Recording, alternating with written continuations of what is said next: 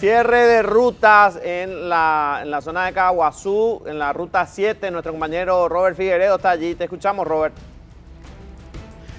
Buen día, Fito, y efectivamente estoy apostado aquí a la altura del 150 de la ruta 7.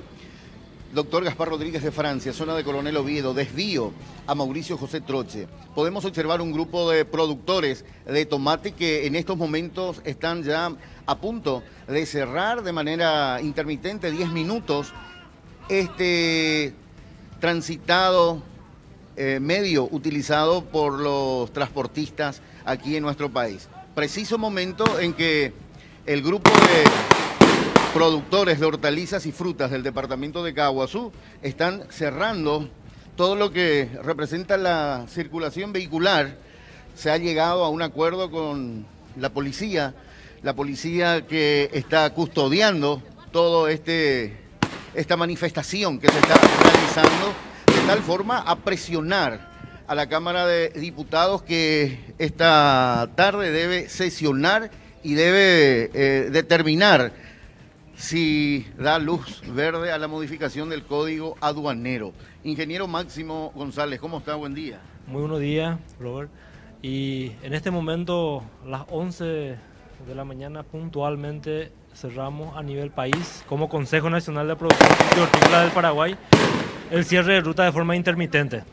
Bueno, ¿Qué datos manejan? ¿Qué hora se reúne la Cámara de Diputados y figura en el orden del día el tratamiento de esta modificación? A las 2 de la tarde, la sesión, sesión ordinaria de la Cámara de Diputados empieza y en el punto número 2 figura el proyecto de ley justamente, ahí está, se puede observar el proyecto de la modificación del Código Aduanero, de lo que buscamos de 5 a 15 años hoy se tiene que aprobar eso. Tenemos la aprobación en general y en lo particular se está buscando allá la oñe, eh, el tema de criminalización. Hay dos versiones, que es de 2 a 6 y esta manifestación pacífica a nivel país, en este momento que estamos cerrando, pidiendo a cada diputado de la Nación Paraguaya justamente que apoye el proyecto de ley con modificación de los artículos 336 y 345 con la Comisión de Agricultura de la Cámara de Diputados. Claramente indica ahí que tiene que ser de 5 a 15 años. Por eso estamos luchando y vamos a estar en resistencia a nivel país. Eso se está haciendo como Consejo Nacional de Productores Frutícolas a nivel país. ¿En qué puntos del país en estos momentos se está realizando manifestaciones, o sea, manifestaciones de este tipo, este, quedando expectante a lo que resuelva diputados? Y prácticamente a nivel país. Eh, por ejemplo, en, la ruta internacional, ruta 7, se está haciendo en, en Caguazú, en cuatro puntos en, en, el departamento de Caguazú, en Itapúa, Cordillera, Misiones, en todo el país se está haciendo este tipo de cierre de ruta de forma intermitente, hasta esperando, esperando hasta el tratamiento y algún, alguna aprobación en general. Bueno, muchísimas gracias, ingeniero. Dale, está, dale, está. Bueno, preciso momento en que eh, por espacio de 10 minutos estos productores del departamento de Caguazú están bloqueando la circulación vehicular aquí a la altura del kilómetro 150 de la ruta 7, en la zona conocida como desvío a Mauricio José Troche, zona de Coronel Oviedo.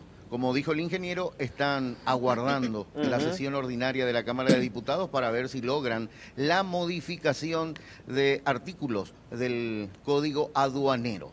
Sí. Es lo que podemos comentar aquí desde este lugar.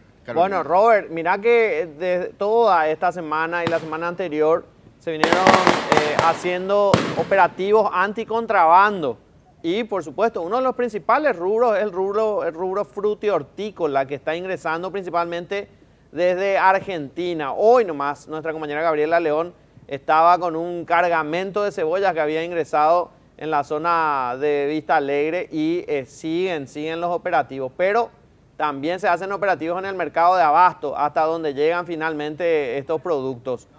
¿Cuánto es más o menos la estimación de, lo que les afecta a los frutihorticultores?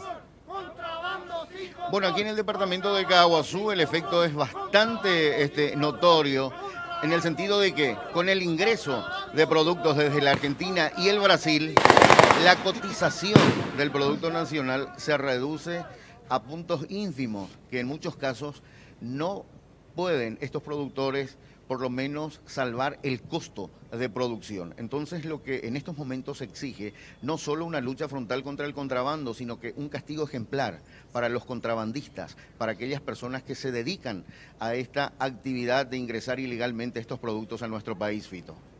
Correcto. Gracias, Robert. Volvemos contigo en instantes. Hasta cualquier momento. Hasta luego.